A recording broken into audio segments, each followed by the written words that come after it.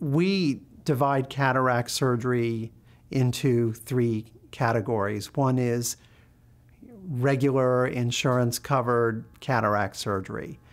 Um, the second is the second category would be our what we call premium distance category, which would include um, correction of astigmatism, and we have numerous ways that we correct astigmatism. Sometimes by laser, sometimes by special lens, sometimes by both. The third category is what we call the premium all focus category, um, which includes um, either a multifocal lens or an accommodating lens.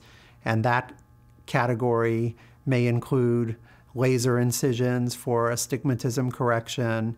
Um, patients that opt for that category generally can have distance vision and near vision uh, without glasses.